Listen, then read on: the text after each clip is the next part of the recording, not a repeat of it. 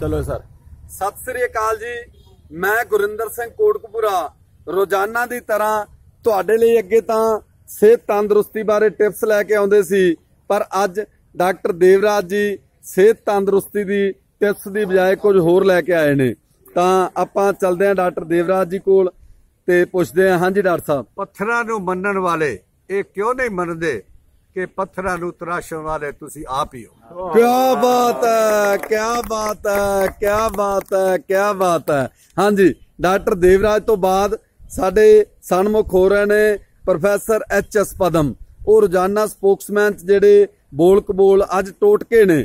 ਰੋਜ਼ਾਨਾ ਸਪੋਕਸਮੈਨ ਦੇ ਟੋਟਕਿਆਂ 'ਚੋਂ ਇੱਕ ਟੋਟਕਾ ਲੈ ਕੇ ਆ ਰਹੇ ਨੇ professor H S Padam ji. ਹਾਂਜੀ Lala Lajpat Rai park municipal park Kotkapura ਦੇ ਵਿੱਚ ਬਣਾਈ ਗਈ ਗੁੱਡ ਮਾਰਨਿੰਗ ਹੈਲਥ ਕਲੱਬ ਦੇ ਸਮੂਹ ਮੈਂਬਰਾਂ ਵੱਲੋਂ ਸਾਰਿਆਂ ਨੂੰ ਸਤਿ ਸ੍ਰੀ ਅਕਾਲ। ਸਤਿ ਸ੍ਰੀ ਅਕਾਲ ਜੀ। ਅੱਜ ਅਸੀਂ ਸਿਹਤ ਲਈ ਨੁਕਸਾਨਦਾਇਕ ਹੈ ਅਖਬਾਰ ਵਿੱਚ ਲਪੇਟਿਆ ਖਾਣਾ। ਇਸ ਵਿਸ਼ੇ ਤੇ ਮੈਂ ਤੁਹਾਡੇ ਨਾਲ ਸਾਂਝੇ ਕਰਾਂਗਾ ਵਿਚਾਰ। ਅਖਬਾਰ ਦੀ ਛਪਾਈ ਦੇ ਵਿੱਚ ਕਈ ਤਰ੍ਹਾਂ ਦੇ ਰਸਾਇਣ ਵਰਤੇ ਜਾਂਦੇ ਆ ਜਿਨ੍ਹਾਂ ਦੀ ਸਿਆਹੀ ਵਿੱਚ ਰੰਗਾਂ ਲਈ ਕਈ ਰਸਾਇਣ ਮਿਲਾਏ ਗਏ ਹੁੰਦੇ ਹਨ। ਗਰਮ ਚੀਜ਼ ਦੇ ਸੰਪਰਕ 'ਚ ਆਉਣ ਨਾਲ ਇਹ ਸਰਗਰਮ ਹੋ ਜਾਂਦੇ ਹਨ। ਇਹ ਖਤਰਨਾਕ ਰਸਾਇਣ ਸਰੀਰ ਦੇ ਵਿੱਚ ਕੈਂਸਰ ਵਰਗੀ ਬਿਮਾਰੀ ਪੈਦਾ ਕਰਦੇ ਹਨ। ਇਸ ਤੋਂ ਇਲਾਵਾ ਬੱਚਿਆਂ ਵਿੱਚ ਬੌਧਿਕ ਵਿਕਾਸ ਵੀ ਰੋਕ ਦਿੰਦੇ ਹਨ।